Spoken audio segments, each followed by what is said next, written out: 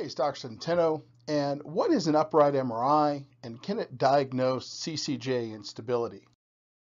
So CCJ instability means that the upper neck bones move around too much due to lax ligaments. Lots of different ligaments up there that can be uh, torn, partially torn, stretched, or just loose due to other problems.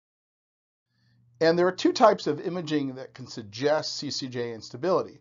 One is static or not moving imaging, and the other is dynamic.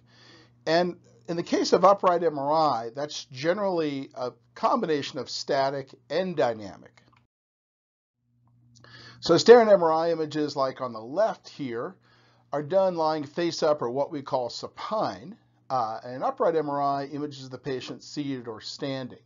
Now there are obvious advantages to this because one is weight bearing, how you would normally exist on a day-to-day -day basis, and the other is not.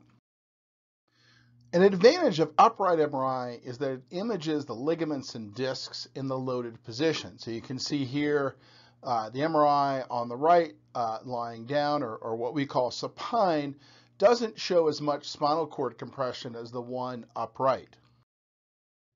For CCJ patients, this loaded MRI can have some interesting things. If we just look at a static measurement, the one on the left was taken lying face up. The one on the right was taken uh, upright. And the one on the right shows a little bit more abnormal values than the one on the left. Some of the values on the left are normal, and some of them, by the time the patient is seated or standing and imaged, become abnormal. Our research group published a paper on Chiari malformation, which is low-hanging cerebellum as part of the which is part of the brain and upright imaging and found that this particular problem could be found better on upright imaging. Uh, so interesting stuff.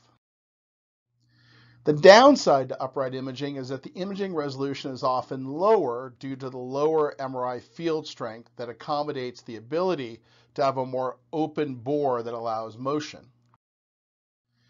Uh, an advantage, on the other hand, of upright MRI is the ability to see what the structures are doing as they move. So we have a patient here on the left that is uh, flexing her neck and on the right that's extending the neck.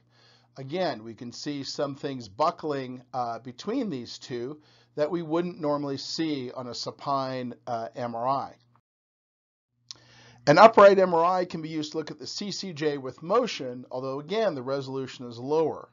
So here we've got lateral bending, looking at the alar ligaments, and you can see the alar ligaments. The resolution isn't great, um, but you can get some idea of what happens to the relationship between C1 and C2.